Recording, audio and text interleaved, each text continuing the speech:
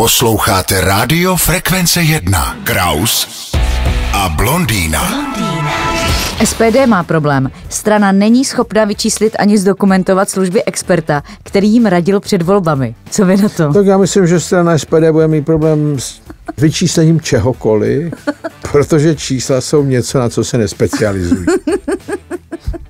No jo, ale podle Úřadu pro kontrolu hospodaření politických stran musí být i bezúplatné plnění doloženo smlouvou. Ano, Takže- se musí doložit, no tak eh, to budou muset teďko mm, pozvat si nějakého znalce, který jim to spočítá, vyhodnotí hodnotu té služby a tu pak uvedou a no, to se projeví v nějakém hospodaření. Jo, tak to zase vypadá, že, že někde něco ulítlo teda. Neulítlo, no tak ono tohle to upřímně řečeno, to neví hodně lidí, že to neví SPD, to poslední, co mě překvapuje. Vy, když dostanete něco jako privilegium, dárek, nebo mám půjčej auto, tak to má hodnotu. Mm-hmm. No tak to je takzvaně buď naturální, nebo věcné plnění. A tu hodnotu vy musíte započíst jako přijatou. A stejně tak vydanou. Že jo? To, jak já vám tady takhle něco říkám, to má obrovskou hodnotu pro vás. Já vím. Ale vám to platí frekvence jedna. Zaplať pávu. No, jinak byste se nedoplatili. No pra, právě teď o tom přemýšlím. Jo. A teď, no jo, nedoplatila, ale vy to máte taky na daních, že jo? Jako vám, Ano, já mám na daních úplně všechno.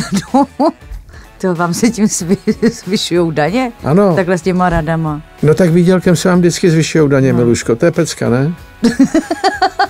No, někdy ta výše daní mě nebaví, jako pecka. Podívejte, všichni ty, co si stěžují, že platí vysoké daně, mají kdykoliv šanci se přepnout na radost z toho, kolik vydělali. Kraus a blondýna. Lobista Janoušek má podle rozhodnutí ústavního soudu šanci na nový proces. Co vy na to? No tak to je ono, tak ten soud rozhodl, že teda něco nebylo dodržený, nebo že mu nebylo náležitě to právo vyhověno, nebo bylo kráceno, tak znova, no, ale jako to není takový překvapení, to tak je. Teďka jenom tak jako, eh, když to vezmu ze zdola, z lidu, nemá on tolik šancí u toho soudu díky tomu, že je to bohatý člověk? Ne, neberte to ze zdola z lidu. Ne? Ne, právo neberte ze zdola z lidu. To je Horáková, to nejde. To znamená, lid ví, jak říkal ten prokurátor v tom procesu se Slánským, to, že lid ví vlastně, že jsou vinný nebo co. To není přípustný. A že má ty peníze. Samozřejmě peníze vám můžou lezli pomoct. Eh, Vy teďko eh, na Slovensku vidíte pana Kočnera, který řídil půlku Slovenska díky penězům. To tak je. Ale od toho máme tady ty rozvědky a tohle, co jsme se bavili, policie, tak jako tady je dost složek státu, který by to mohli zjistit, kdyby se něco takového dělo. No ale e, ten člověk má práva, který má ústavou zaručený a ty se musí dodržet u každého. Je jedno, kolik má peněz a tak dále.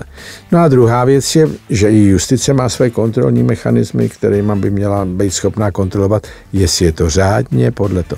A myslím si, že tohle toho důsledek, prostě ten soud dospěl k přesvědčení, že byl na těch právech krácený, tak znova. Česká justice zápasí s lůtama a dlouhodobě a měla by to vyřešit, jako už na to bylo času dost. Kraus a blondýna. Rekord Brit Noel Phillips zvládl cestu kolem světa ne za 80 dní, ale za 80 hodin. Co vy na to? No dneska to jde už, jo. A kolik hodin trval váš nejdelší let? Asi 12 hodin nebo 11. Jenom. No mně to stačilo doletěl? bohatě. bohatě. A když jste doletěl, byl jste střízlivý? Byl úplně. Vy nepijete. Ne, to tam dělají takový podřadný cestující, já ne. Dělá to spoustu lidí, aby přežilo. Já vím, ne, já ne. Ne. Já umím přežít bez chlastu, Milušku. Tak jak se bavíte těch 12 hodin? No mám různě stažený nějaký videa, seriál nebo něco, čtu si z tabletu řadu knih, No. no. takže dokonce můžu skákat z knihy do knihy. Ono tam něco taky us, no, uspíte, že jo, a tak dále. Ale taky, jakmile tam začnou rozdávat ty, na ty oči, že budeme spát, hrozně mě leze na nervy, že budeme jako všichni spát, jak na táboře polední klid, nebo co. No. Vždycky říkám, ne, abych tančil teďko, jako bych si měli léhat, ale... A, ty, a oni nám zhasnou, ještě to mě No. přijde tak drzí vždycky. No a na druhou stranu všichni se tak pokorně tomu podřídějí, tak já pak taky. Já jsem z toho úplně zhnusený. Jste hrozný kverulant, že? No ale pak si rozsvítím tu malou žádovičku pro sebe.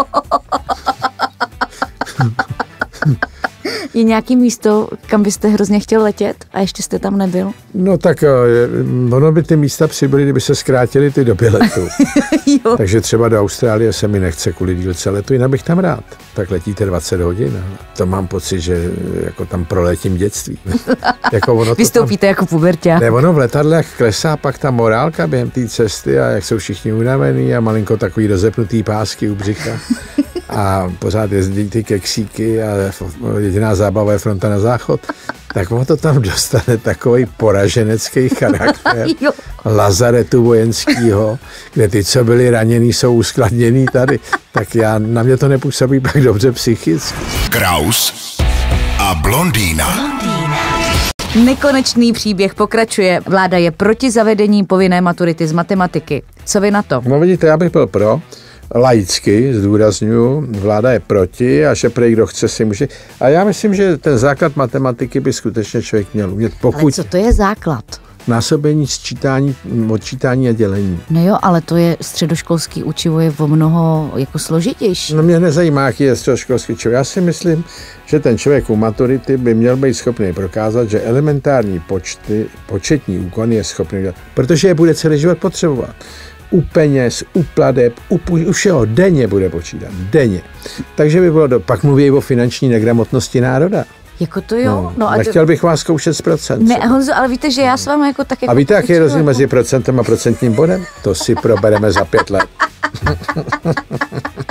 ale uměl jsem, nevím dneska, ale dřív jsem uměl v restauraci to spočítat rychlejš než ten vrchní na tu účtenku, kde on si to sčítal na papíře, já to sčítal z hlavy.